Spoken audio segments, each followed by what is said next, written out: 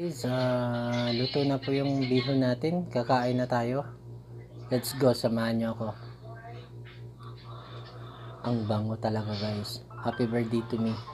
Guys, ah, good morning, good morning. It's me again, Jeff Striker Vlog. Guys, ah, para sa video, sa, para sa video ngayon guys, ah, magluluto tayo ng bihon. Simpleng luto lang guys. Ah, paborito ng mga Pilipino. Dahil birthday ko guys, magluluto ako ng bihon guys. Masarap masyado ang luto ko. Kaya stay lang kayo dyan. Papakita ko sa inyo kung paano yun niluluto ko guys. Maraming salamat. Keep on watching. Guys, ah, ginigisa na ginigisa na natin yung bawang guys. Ayan.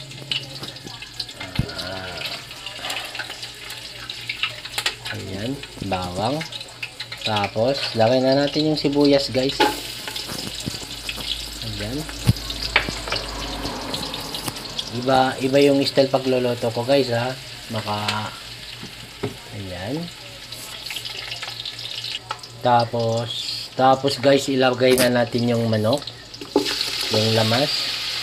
Igigisa natin yung manok, guys, para magkakaroon ng lasa. Hayaan lang muna natin mag-isa yan. Mga 5 minutes or 2 minutes. 2 to 3, 5 minutes guys. Yan. Ayan guys, nilagyan na natin yung atay ng manok. Para dagdag dagdag ah, lamas or ingredients sa niluluto natin guys. Ayan. Pugpug si. Abre nor, abre. Ako da ali dal otro Kusa man? ya kwanyo. Kosa. Guys, delivery pa yung paminta namin guys. Ayan, itataktak ko na yung paminta. Di ba yung kanina kwan? Ayan. Kuya? Ah, ah tasalil olor guys. Guys, yung amoy, lumalabas na yung amoy niya.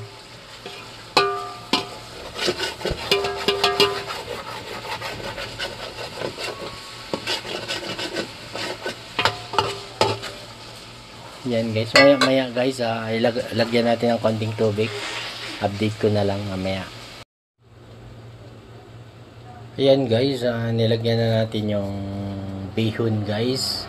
Hindi ko na pinakita sa inyo kung alam nyo naman pa paano ilagay yung bihon guys. Ayan, parang mukhang marami yung yung bihon na. Ayan guys.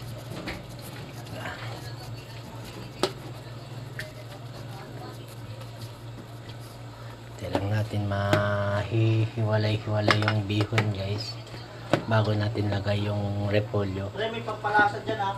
Na, Yung ano? Pre, ah, may pagpalasa dyan sa rep. Ah, sa rep. ah.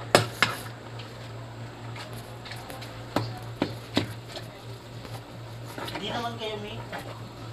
Tos.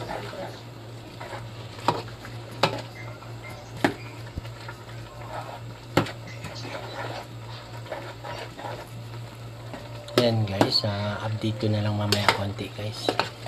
Ayan, maganda na siya. Ayan guys, ah, ayan, ah, sabi ng nanay ko guys, pag yung bihon, pag ini ginaganon ninyo, ini minimix ninyo guys, pag malambot na yung kwan, nadadala na lang siya ganon, ibig sabihin, malapit na talaga siya maluto guys. Kaya, nasa inyo na yung kung paano yung pagluluto ninyo guys. Yan, parang luto na guys, malambot na yung baba. Iikot lang natin konti. Yan, ang init-init guys. May tubig pa sa baba. Ayan guys, konti na lang yung tubig sa baba.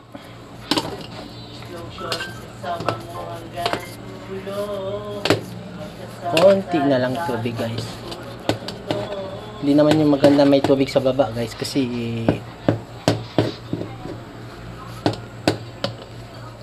yan. Guys, nilagyan na natin yung sili na malaki guys, pang paamoy din. Ayan guys, happy birthday to me guys. Ayan. At saka sa mga kaibigan natin dyan, kung bago ka pa lang napatpat sa channel ko guys, huwag kayong kalimutan pindutin yung subscribe button. Ayan. At saka yung katabi niya, yung notification bell para ma-notify kayo guys kung may bago akong upload na video guys. Ayan. Luto na guys, luto na yung lut yung niloloto natin na bihon. Ayan. Ayan. Ilagyan ko na yung repolyo guys. Ayan. Maganda na yung, maganda na yung kulay. Ayan. Ngayon, ang isusunod natin guys ay ang celery. Pang paamoy, pang palasa. Ayan. Yung Mga herbs ng Chinese foods guys. Parang pa yung bihon guys. Ah, hindi pa ito. Ayan. Sabi ng babae na pumunta dito, nagdala ng celery, sabi niya. Sabaw pa lang daw, ulam na, sabi niya. Ayan guys, ah, nagluto ako ng bihon guys kasi birthday ko ngayon. Once a year lang. Ayan. Hindi lang masarap magdalaga, masarap pa magmahal. Swerte ko nga dyan eh. Kasi, inayos niya yung dati kong wasok na puso. Ay.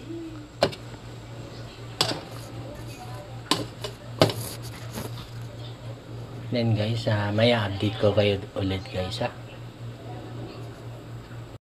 Ayan guys, luto na yung bihon natin. Bihon na may atay na manok at saka manok. Ah, yung ingredients na ginamit ko, celery, carrots, repolyo, ah, green onion, paminta guys. Yun lang toyo at saka oyster sauce. Kaya let's eat guys. Yan. Tigman natin guys ha.